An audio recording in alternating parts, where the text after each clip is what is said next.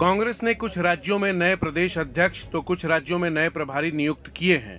शक्ति सिंह गोहिल गुजरात के प्रदेश अध्यक्ष बनाए गए हैं। हरियाणा और दिल्ली के प्रभारी बने दीपक बावरिया।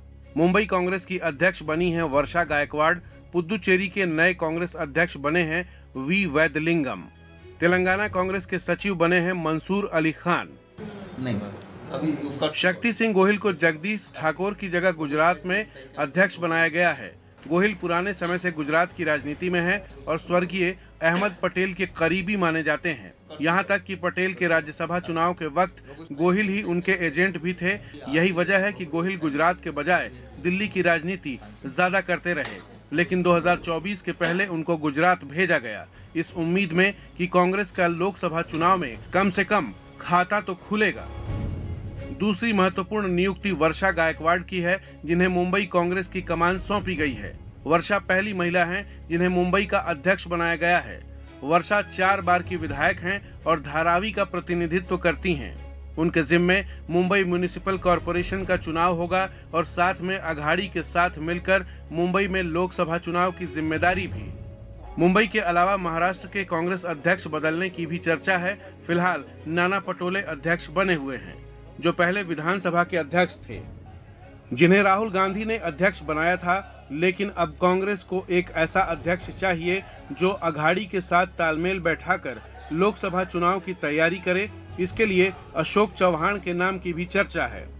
कांग्रेस ने हरियाणा में गोहिल की जगह गुजरात के ही दीपक बावरिया को प्रभारी बनाया है और उनके जिम्मे दिल्ली भी होगी, जहाँ नया प्रदेश अध्यक्ष बनाया जाना है। जिसके लिए अरविंदर सिंह लवली, देवेंद्र यादव और कन्हैया कुमार के नाम की चर्चा है। पुदुचेरी में वी वैद्यलिंगम को नया अध्यक्ष बनाया गया है। राजस्थान में गोविंद सिंह डोटासरा के बदले नए अध्यक्ष को लाने की बात है। वैसे तो ये गहलोत की एक खास हैं, लेकिन कांग्रेस एक ऐसा अध्यक्ष बनाना चाहती है जो किसी गुट का न हो और जिसके लिए गहलोत और सचिन पायलट दोनों राज़ी हों।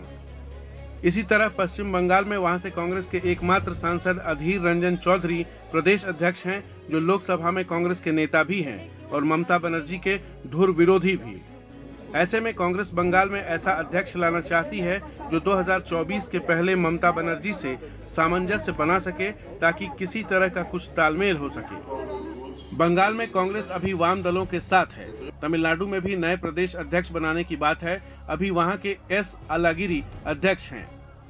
अब आते हैं उत्तर प्रदेश पर, जहाँ प्रियंका गांधी के बदले नया महासचिव बनाया जाना है। प्रियंका गांधी अभी प्रभारी महासचिव हैं और उनके लिए नई ज़िम्मेदारी की तलाश जारी है। ये खरगे और राहुल गांधी को तय करना है कि कांग्रेस प्रियंका का उपयोग किस ढंग से करना चाहती है।